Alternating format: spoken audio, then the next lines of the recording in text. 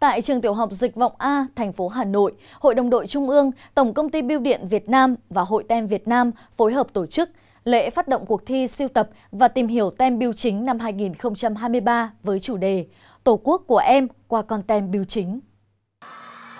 Đây là một sân chơi lành mạnh, bổ ích dành cho các em đội viên, thiếu nhi từ 8 đến 15 tuổi đang sinh hoạt học tập trong các trường tiểu học, trung học cơ sở, các cung, nhà thiếu nhi, trung tâm hoạt động thanh thiếu nhi cả nước.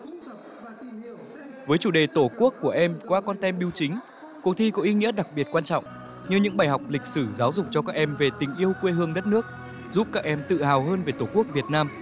Từ đó, nâng cao nhận thức, trách nhiệm của thế hệ thiếu nhi Việt Nam hôm nay góp phần vào sự nghiệp bảo vệ, giữ vững chủ quyền thiêng liêng của đất nước. Chi tiết về thể lệ cuộc thi được đăng tải trên website của Tổng công ty Bưu điện Việt Nam www.vnpost.vn và Hội đồng đội Trung ương www.thiếu nhi việt nam.vn